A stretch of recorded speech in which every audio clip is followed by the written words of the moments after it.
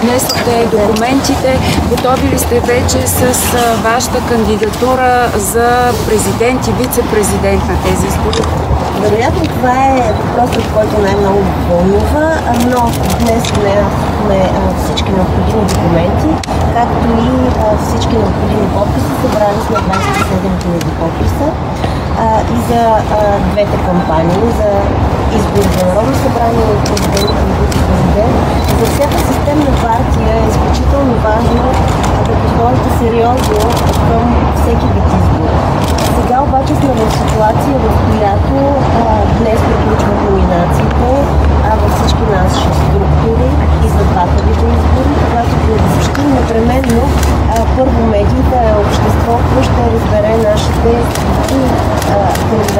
президентска двойка и а, нашите листи за народни представители. Все пак имената, които са в тези номинации, Вижте, а, имената не са, а, според мен, единственото важно нещо, защото трябва да говорим за а, изборния процес и защо се стигна до тук, как политическите партии, които спечелиха доверието на хората, не могат да носят отговорност и българите ще са принудени за пореден път да бъдат на избори и да избират неясно от какво. Трябва да говорим за проекциите на а, един политически инженер и това е президентът Румен Радев, защото хаосът, до който стигна цялата ни политическа система, се дължи именно на разбъркването, което той а, направи и миналата година и с това, че не беше център за консенсус и обединение а, и на институции, и на политически партии, за да се носи отговорност за българските граждани. В крайна сметка, важните въпроси, които трябва обществото ни да задава днес са свързани с самия изборен процес, не толкова с кандидатите. Защото вчера стана ясно, че прогнозният резултат за, за това колко секции ще се разкрият в чужбина рязко намалява и на, на, в страните Европейския съюз драстично по-малко секции ще бъдат разкрити. Аз не чувам онези, които ръкопляскаха на среднощното приемане сега да се реагирали. Тези, които защитаваха именно правата на българите в чужбина. Или дали ще се броят разписките. Това е от а, съществено значение за сигурността на вода. Всичко това са важните въпроси, пред които ни е поставено обществото и въпреки а, заявките за един а, прозрачен процес, за който а, пряко е ангажиран а, министра на вътрешните работи и служебния такъв, а, до този момент ние не знаем какво ще стане с договора с фирмата, която ще достави машините, как софтуера ще бъде проверяван, кой а, ще заверява изобщо този софтуер, какви са тези граждански договори и така нататък. Госпожа Танасова, изборът, изборът за президент е мажоритарен, така че фигурата, която ще издигнете е изключително важна за резултата, който ще постигнете. Кои имена се обсъждат и кога да очакваме, защото това с номинациите го чуваме вече две седмици. Кажете ни като дни, кога да очакваме да разберем кои са вашите кандидати за президент и какви цели си поставяте на тези избори и за парламент, и за президент? Ние винаги си поставяме една и цел. Тази цел е повече доверие от българските граждани. Няма различна цел. А, в този смисъл, в законно установения срок, ще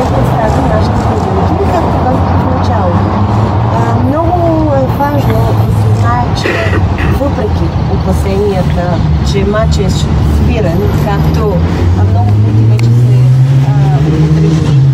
публиката ясно може да различи по-добрите играчи. Аз мисля, че вече обществото ни се събужда и ще покаже а, с автентичния си вод на предстоящите избори. Добре, тогава да попитаме към какъв резултат се стремите на предстоящите избори на 14 ноември и колко депутати си представяте, че ще има герба в следващия парламент? Първа политическа сила. Надяваме се, че ще бъде ГЕРБ в следващия парламент и разбира се, заедно с нашите партньори от СДС. Народът определя чрез своя вод. Ние сме показали, че може да се съобразим с вода на хората, можем да бъдем и управляващи, достойни носят на своята отговорност. България беше в редица кризи. Доказахме, че можем да ги управляваме. Единствено хората могат да направят своите избор и да ни отредят мястото, което заслужаваме. Кандидат депутатската листа също не остава аз много повтарям, че до днес се правят номинационните събрания, а при всички положения ще има обновяване на листите, защото това е нормална практика във всяка една политическа партия, предполагам, особено от партиите, които а, традиционно залагат не просто, просто на някакви елементарни слогани и новите им лица да бъдат вадени от някой ръка, а на хора доказали се в своя професионален опит. Готови ли сте да водите разговори с продължаваме промяната? Те казаха, че ако вие им изпълните петте условия, са готови да говорят с вас за така наречени коалиция на почтенност. Какво е отношението ви към тях? Ние в рамките на 45-то народно събрание поканихме за разговори някои от партиите, които присъстваха в него. Беше ни отказано. В рамките на 46-то всички продължаваха да желаят да ни изчегъртат. Сега е радващо, че са установили някои от новите, макар политически субекти, че има смисъл да се води диалог с всеки. Разбира се, важни са резултати от изборите, и естествено, че трябва да се води диалог по важните приоритети за държавата ни, а и застрашаващите кризи и проблеми, които стоят пред нея.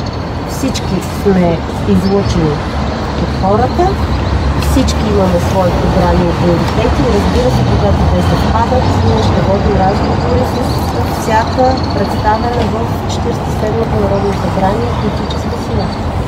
Благодарим ви.